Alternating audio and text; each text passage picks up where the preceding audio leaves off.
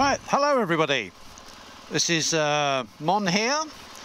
I'm uh, parked up in a little country lane here in just outside a village called Stanton to have another go at uh, recording a video that I was doing earlier. Had some serious issues trying to get the uh, battery to stay connected and running on the little GoPro here on the front. Think we're all sorted now though.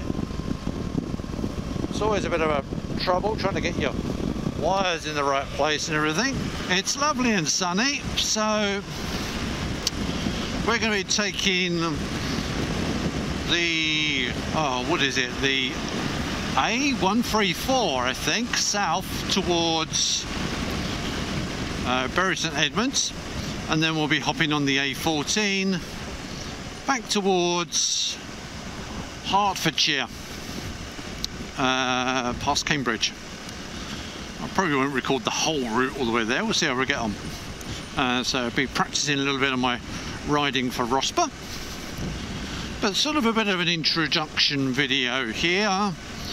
Uh, tell you what I got. So I've got a lovely BMW R1200 GS 2015. Uh, I bought this a year ago. Um, done nearly 6,000 miles on it now. I'm actually loving it. That's an awesome bike. And got a few little mods on here I want to talk about. Got loads of different things been added. I'm going through the little village of Stanton, Stanton now.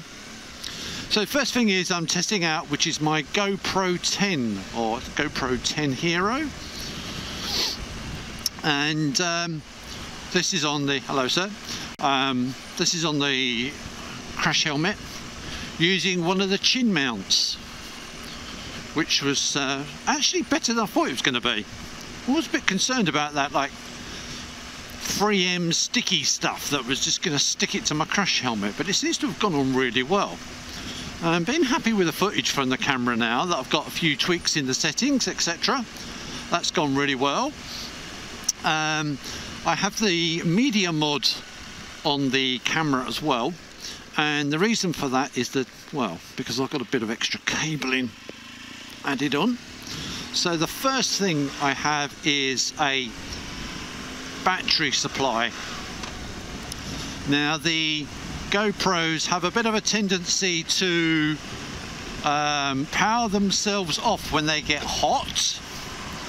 And this is because the internal battery gets hot powering it while they're running and the best way to get around that I found is to actually take the battery out so how earth to get a, a GoPro to work with no battery well the simple answer is I actually have a battery pack hanging on a yang lanyard hello um, which is hanging around my neck one of those USB charger ones and I power it from that using the GoPro cable.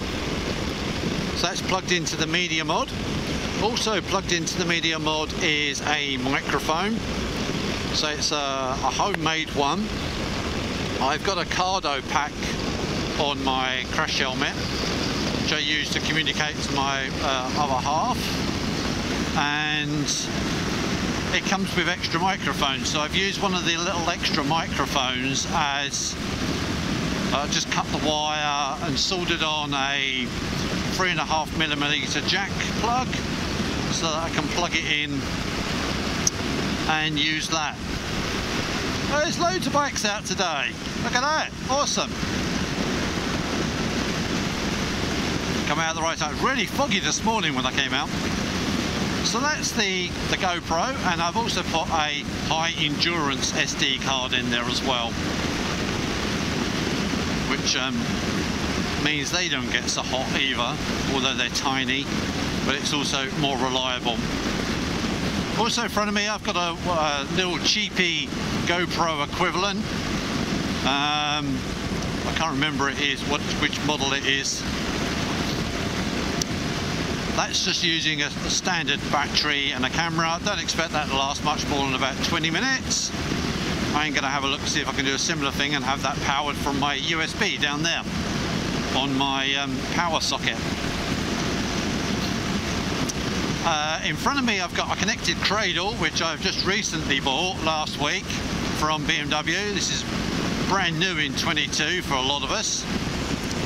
Uh, before we always used to have things like, oh he's gonna go isn't he? Um, one of the things we used to have is the Garmin 5.6s on um, bikes that go in this uh, cradle on the outside. And they're used for your sat nav navigation and everything. Um, they're, they're expensive. That was the thing. This bike already came with the cradle fitted but no sat nav. And I didn't really want to spend that much on the sat nav previously in the past I've had experiences of paying for new map updates and different bits of things and I wasn't really that keen or sure I wanted to do that to be honest. Um, especially when so much of my stuff is on my phone. So hence the connected cradle. The connected cradle fits into the mount where the Garmin sat nav would go and that allows you to then clip your phone in front of it. It connects into the bike electrically so there is a charging port on the side of it. However it's a USB-C and I didn't have a USB-C to lightning adapter for my iPhone so I'm powering my iPhone directly from the charging socket. However there is also a wireless charging option available um, my phone doesn't support wireless charging. But you do get to get other things. See that they've got their own sat nav system built in which I'm going to be experimenting around with. Um, one of the nice features with all of this is it now lets the Wonder Wheel connect. So while I'm riding along here I can actually zoom the map out. I can zoom it in. I can do things like enter names and addresses and things which I'm not going to do while riding um, I can also come out and go down to the bite statistics so I can actually get access to things like tyre pressures, things like that. Um, that's all there is on the screen. There's some trip mileage, fuel economy and stuff. Um, there's also these lean angle sensors and accelerator things. So you can sort of gauge how much acceleration or braking you've been doing. Um, the lean angle sensor, I believe, only works with the 1250s. Uh, the 1200s don't have a lean angle sensor on them although it would have been nice if that was connected to your mobile phone instead. So, and there's also a connectivity hub where you can connect other things. I'm hoping to see other features added as this goes along, which would be quite nice. I'm going to leave that zoomed out so we can sort of see a rough overview of where I'm going. And the connective cradle is 186 pounds. I think it's a little expensive for what it is doesn't feel like it's given me a huge amount right now. Um, obviously I've, i can connect my phone and I've got a few little things. Doesn't feel like 180 pounds worth of of tools of add-on yet. Um, although I did see on the update on the phone today that they've got the electric option so that if you have, I think it's electric bikes or electric cars, they'll actually even give you information about where your next charging point is and things like that. So I'm really hoping to see that other information is going to start appearing in the app as well and that you can do things like that. Hello. Um, yep, so that's really cool. So just on the outskirts of Bury St Edmunds now, nice little pub there. Never actually been inside it. I've used the car park once, stop and get a canned drink out, but that was about it. So there's a few little mods that I've got added on the bike here. So um, on to the next topic. So the next little topic I'm going to talk about is my Rospa riding. So I've got some videos which I've really struggled to put together and put out. I did um, Bike Safe last year with the Met Police at Watford. And that was an absolutely fantastic day and I'm, I'm planning on having a video out for that and explaining what that was like. The they obviously encourage you to go on and do advanced riding and I'd already planned to do that at the time. I wasn't sure whether I was going to go with IAM or ROSPA I ended up joining hello? Joining my local ROSPA group I have found, however, that being new to riding my bike, having had this only a year, I was still a bit new to it. I was trying to push myself more or to a level that I wasn't comfortable with.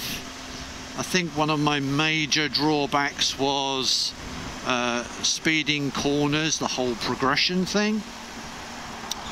Um, so I've actually decided to discontinue that training for now, or I decided that over Christmas.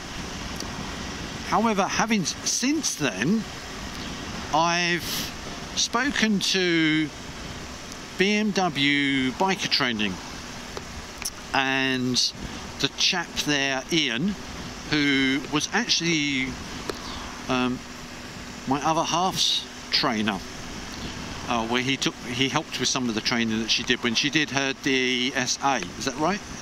Or is it DA, DA, DSA? I can never remember which one that is. The direct access stuff. And she's obviously got her license now and she's now riding. There'll be some videos about that, I guess, at some point. Um, but I spoke to him about it and he said, you know what? We do a three day course where we can do your assessment and everything and if really needed if needed you can do your ROSPA test at the end of it. So I thought well that's actually pretty good because that's three solid days of riding from um, the highest level ROSPA people and accredited trainers that are training all day every day. So I'm going to give that a go and I'm going to be doing that in the first week of May.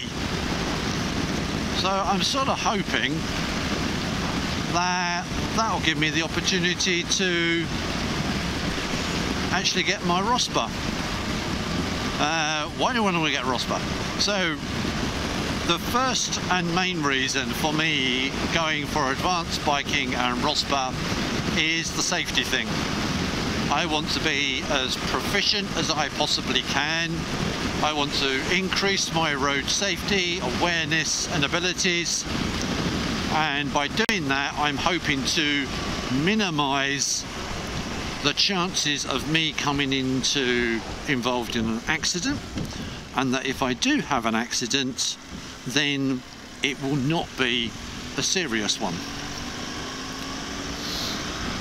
Um, that's my prime objective be as physically, as absolutely mentally and physically safe as I possibly can.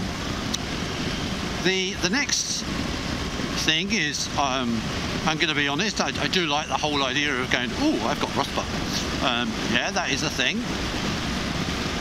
Um, it's something to be proud of. I don't see anything wrong with that.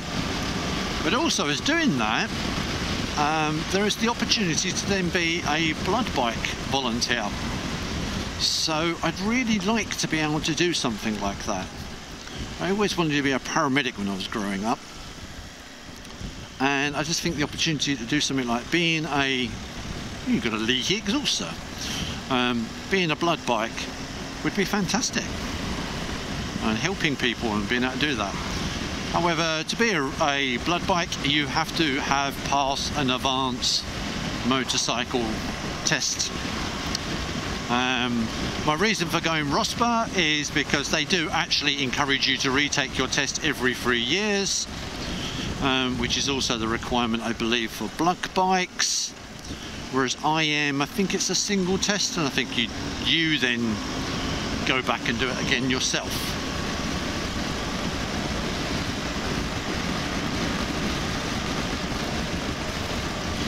So I've done a little bit of ride. I don't know what my riding's been like. I've not really been concentrating on I was going to say not concentrating on my riding. That sounds really bad. But I've not been focused on riding as if I'm a ROSPA rider. Um, I've been riding naturally instinctively. So I'm actually interested to see myself if I've been being a good boy or not. Because it's when you're riding sort of naturally and sort of just think mind wanders that's when stuff happens. I'm going to have to stop, aren't I? You're going to make me put my foot off. Really? Dude, there was so much opportunity for you to go.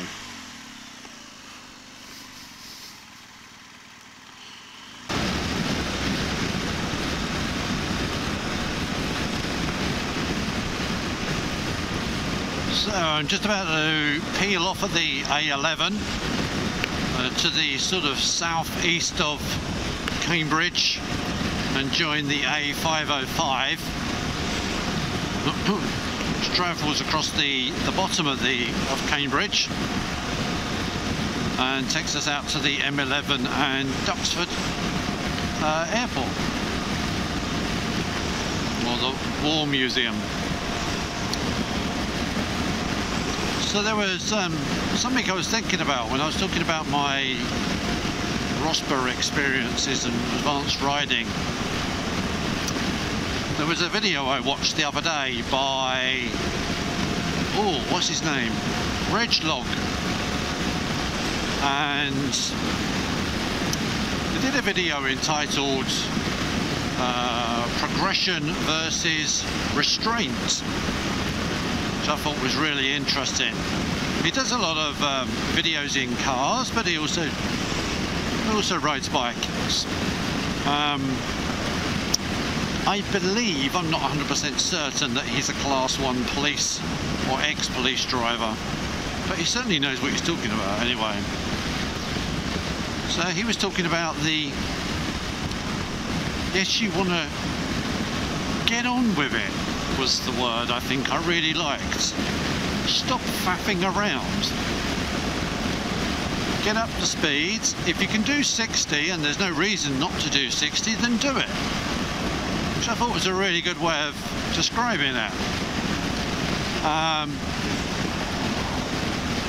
restraint is deciding that there is an opportunity, but right now, today, for whatever reasons, any hesitation, you should show some restraint and just hold back. Um, I think I've sort of paraphrased what he said there a little bit. Definitely watch his video. But I thought that sort of rung up our bells with me with the doing corners. You know, often encouraged to ah, just, you know, get around the corner at 60. You can do 60, do 60. And it's like, but the bike I'm on and I'm, I'm not confident and uh, comfortable or confident in myself and my abilities. So, doesn't that fall under restraint? There's a question. If it was wet, we'd slow down. Um, if there was a hazard, for example, show restraint. Oh, big bumps! Oh, blimey! And you're in the wrong lane, dude. I'm glad you stayed there. I'm glad I was also watching for you as well, because I knew you'd do that. It's sort of like just showing that restraint. I, I don't need to overtake. Put myself into a risk so don't overtake. That I think that was one of his examples. He was also driving on a wet road and he decided that on the dual carriageway because of the surface water and that he'd stay at 60. Other people were bombing past him as they always do. But that was showing restraint. So I like the whole no faffing about approach. That I quite liked. Because to me, I, I, like to think that I'm not faffing around with my riding. And that if I do hold off in going into a corner or something, or I don't take a, an overtake, it's because of my own abilities and experience. Doesn't make me a a bad driver just means I'm applying more restraint than maybe others might. My neck's now flapping around, my velcro's come undone.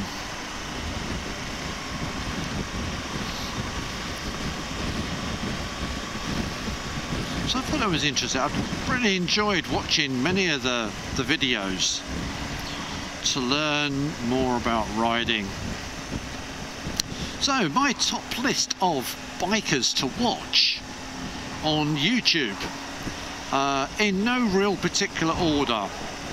Uh, first name that comes to mind, TMF. Does some brilliant videos on reviews, bike rides, first impressions. Um, yep, very much like seeing what he does. Um, there are a number of YouTubers similar to him that do a similar sort of thing. So you've also got username Kate. You have Biker Dan. Love Biker Dan. He's brilliant. Um, then we've had a bit tomboy with Dee. She's been making her own bikes over at Custom uh, Mint Custom with Simon there. They've been really interesting to watch. She does videos and ride outs as well. Um, then we've got some slightly different variations. So we've got a couple of adventure bike riders. So there's Big Rock. And probably my favourite is uh, Brett. Uh, he does some brilliant videos on off-ride skills and stuff. And I'd love to go and actually ride with him off-road and learn from him. He's just got this real down-to-earth and practical way of like talking about things like picking your bike up and getting on and off it and what to pack and how to approach hills and gravel and all that sort of stuff. I just really loved watching that stuff. It's fantastic. Um, who else do I watch? How many other bikers? Oh, there's... Um, oh dear, I really apologise now if you're listening to this because I've forgotten your name. Um, the guy who sells all the bike stuff, the Denalis and the bike cans and... I'm going to put his name on the screen because I've forgotten. It's because I'm riding. Too busy concentrating on not driving to the speed limit properly. Da, da, da, What's his name? I don't know. I can't remember. It'll come to me in a minute.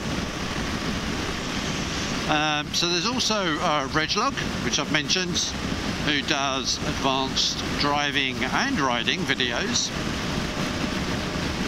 Um, I've also seen set of videos which are quite are quite a bit older now, but they're where I started when I first started riding. Uh, a guy called Advanced Rider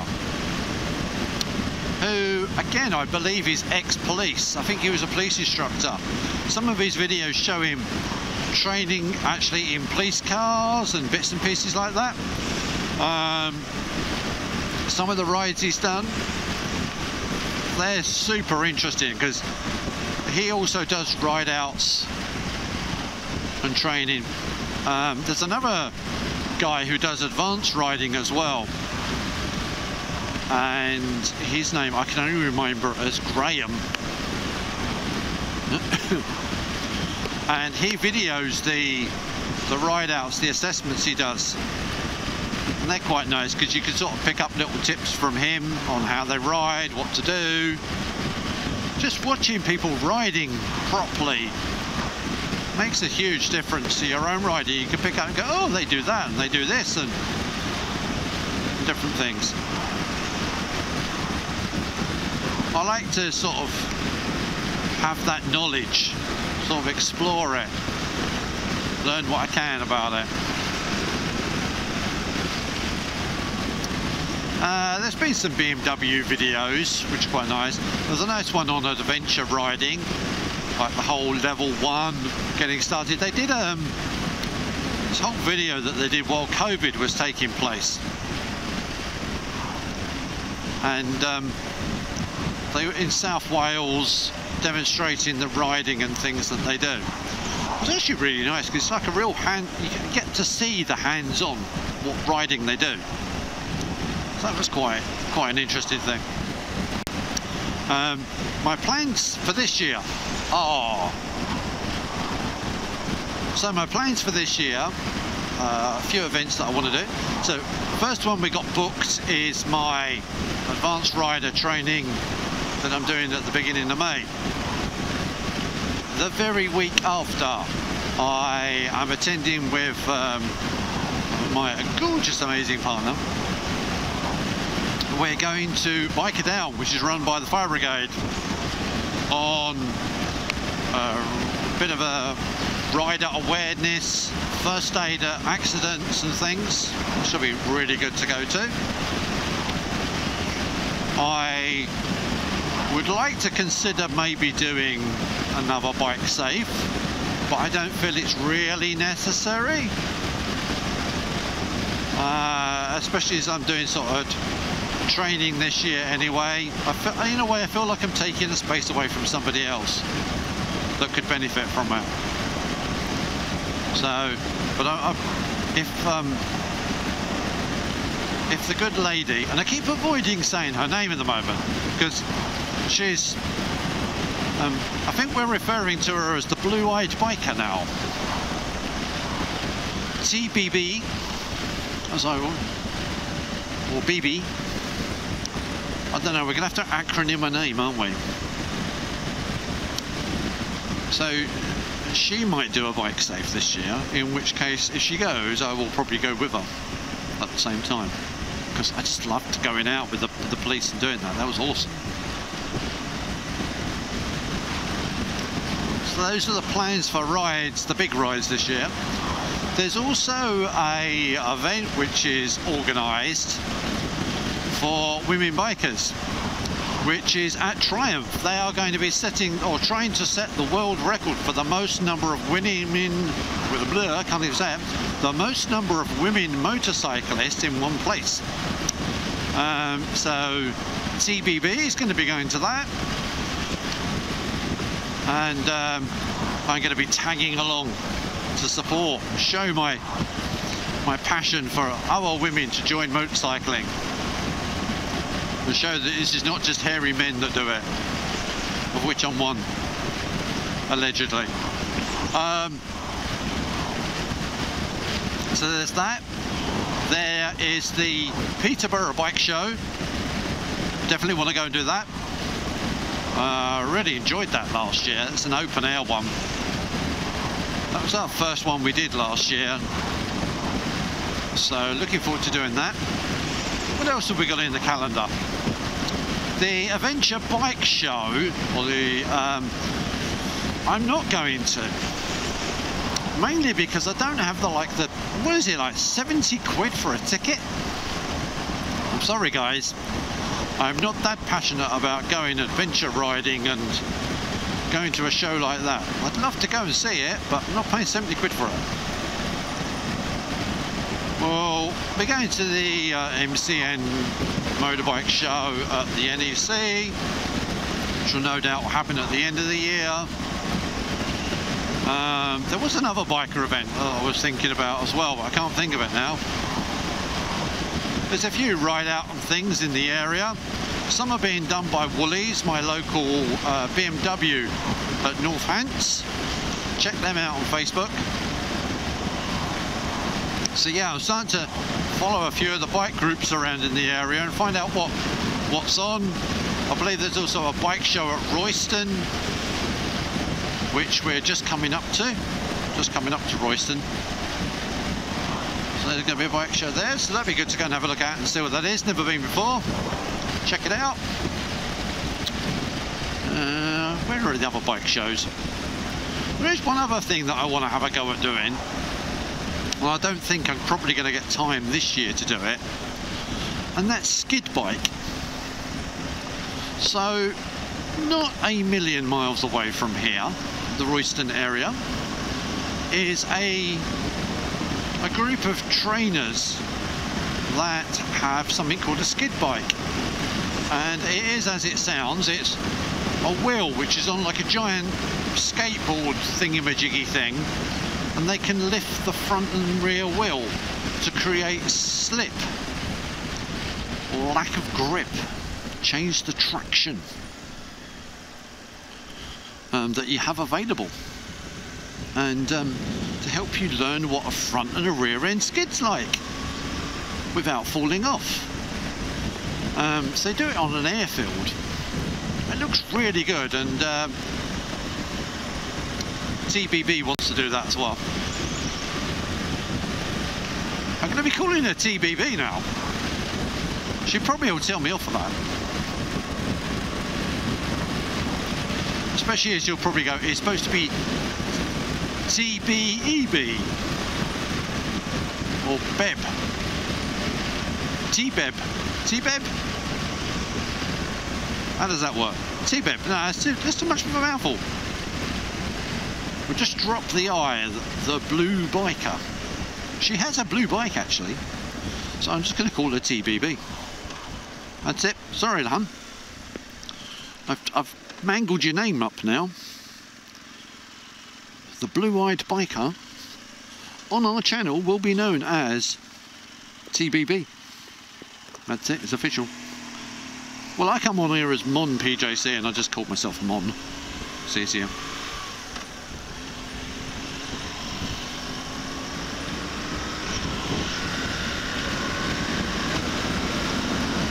Faffing around, let's get on with it.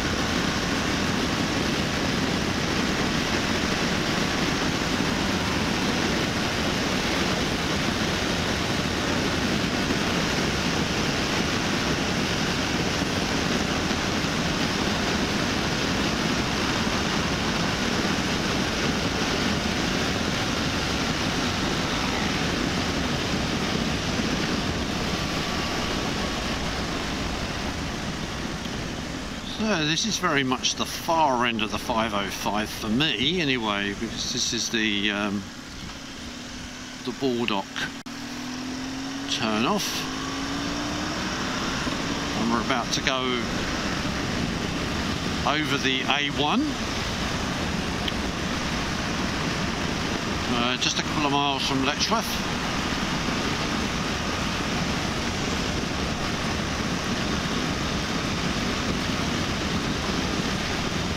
pretty sure that was the Jag that was faffing around in front of me earlier. Yep, same one.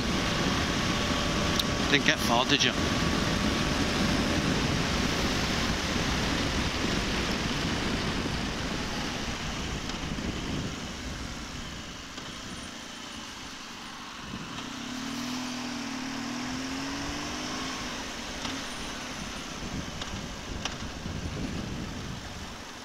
Oh, it's definitely turned a bit chillier now. It was really foggy over in Letchworth here this morning when I left. And uh, the fog didn't clear until I got about as far as Cambridge. It sort of brightened up a little bit after that. It Wasn't too bad. It actually felt quite pleasant, warm on the way home when I left sort of the Bury St Edmunds area. And it sort of progressively got a little bit chillier it's a bit more greyer and constant overcast now. Which is uh, not quite so pleasant. But yeah, it definitely feels like it's chilled now. I'd definitely be put, if I was going any distance, I'd, I'd be stopping and probably putting my jumper on. Or my fleece anyway. Ah, not many times you see them out. Someone's having fun in their quad on their quad bike. I've always fancied having a go at one of them.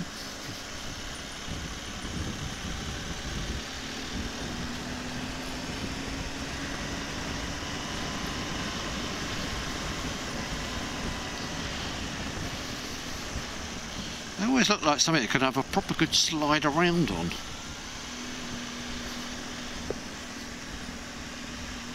I don't know what they're really like.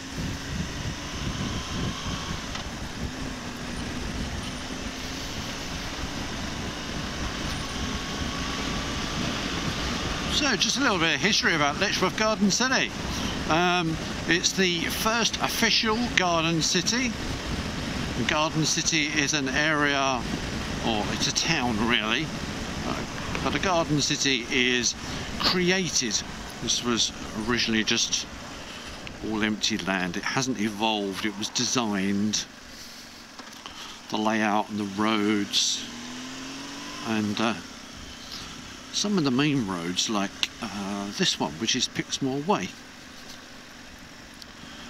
they lead towards the centre of Letchworth on a sort of a spiral that goes out from the centre I don't know what the um, the section of roads officially called in the middle of Letchworth. I've not lived here long enough really. I've never really asked. Um, but we refer to it as the longabout because it's like a really long roundabout. Um, but it's where the, the fountain is. Uh, we'll go past that. You can have a little look. Yeah, it's very green, lots of trees in the area, little public pathways. Uh, to the right is the railway station. It's a cute little railway station. Has mainline trains though going to Cambridge and into London, King's Cross or St Pancras. And you can change and go north, just one stop up the line, and uh, go up to places like Peterborough, up to the north. So it's very well connected. Such a cute little railway station. There's a lot of history in the area. Uh, this is also the uh, there's an area where the, the, electric motor company if I got that name right they were responsible for building parts that went into the machine called the Bombe which was designed by Alan Turing to crack the Enigma. Yep, the fountain's in full go today Try and get that on the camera as I go past. Very pretty. These nice garden areas. There's the town clock, town hall. There's the Broadway cinema to the right. And a local supermarket on the left. Where else could you be without your local supermarket?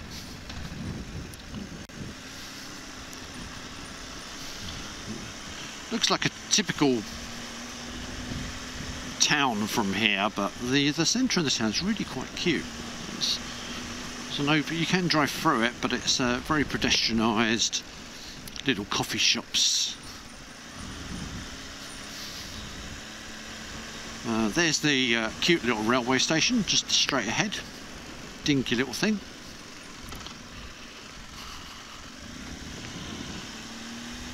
And then just ahead of me here I'm going to turn right here but on my left as I go around here is a building called the Spirella.